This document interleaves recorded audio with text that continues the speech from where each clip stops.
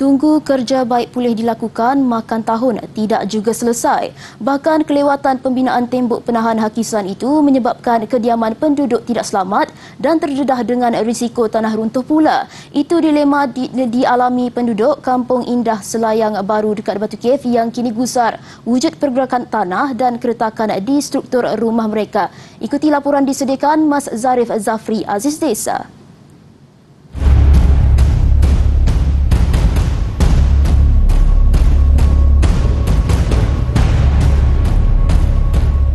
Hasil pemerhatian kami, kerja-kerja pembinaan tembok penahan hakisan di sini meliputi kawasan sepanjang kira-kira lebih 50 meter. Pada mulanya, ia bagi mengelakkan hakisan tanah berlaku lebih besar. Namun yang terjadi, pembinaan itu tidak dilakukan sepenuhnya susulan pihak Majlis Perbandaran Selayang MPS masih berunding dengan tuan tanah yang dipercayai pemilik tanah persendirian. Tinjauan mendapati kira-kira lebih enam buah rumah bersiko mengalami tanah runtuh disebabkan kerja dijanjikan itu berlarutan sekian lama. Ni daripada tahun lepas lagi. Daripada tahun lepas lagi uh, Keadaan macam ni lah.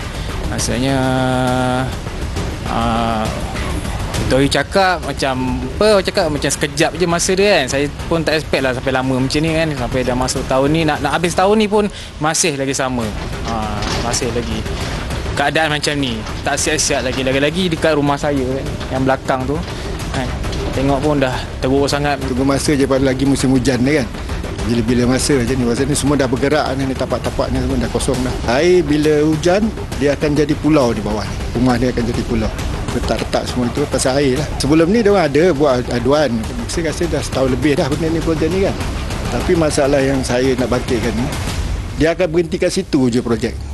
Dia tak buat kat rumah ni. Tak tahu apa masalah. Sampai kat rumah ni dia kata tak boleh buat ada masalah teknikal apa saya tak tahu. Pihak berkuasa lah uh, ambil lah tindakan tolonglah kami ni. Sebab malam pun nak tidur memang tak lena lah. Tengok keadaan retak di, di dapur tempat kita masak di dalam bilik tempat kita tidur. Uh, menakutkan lah. Prihatin dengan nasib penduduk di Jalan Indah 12 ini. Calon Barisan Nasional BN Parlimen Selayang Chan Wun Hung sempat meninjau lokasi yang terjejas yang tadi Beliau menggesa supaya tindakan segera diambil dan pihak berwajib perlu turun padang melihat sendiri kesan kerosakan dialami penduduk.